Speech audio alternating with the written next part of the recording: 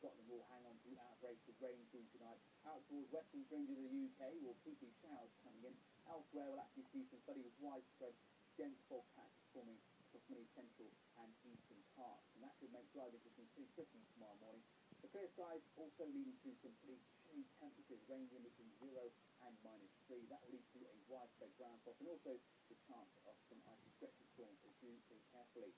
There'll be some brightness around tomorrow morning, but the main talking point will be the mist and fog forming locally quite dense, lingering for much of the morning. It does get better during the afternoon. Away we hang on to any missing patches. Temperatures are going to struggle, maybe high to just 2 degrees in places.